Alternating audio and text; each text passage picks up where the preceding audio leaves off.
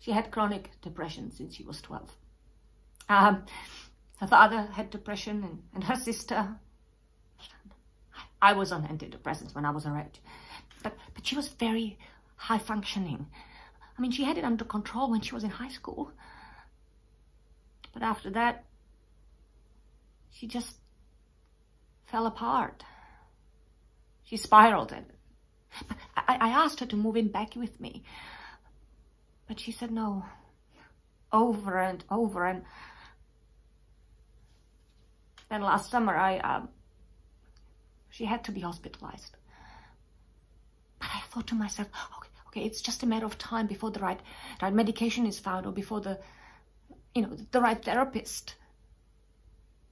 And things will go back to normal. You know, we made plans to have breakfast that morning. And um, I called her, but she didn't pick up, so I thought, oh, she turned her phone off and slept in.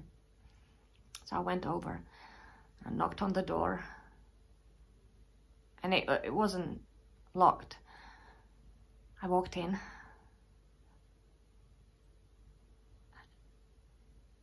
And I found her.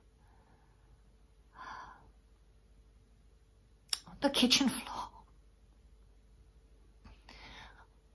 Why didn't she come to me?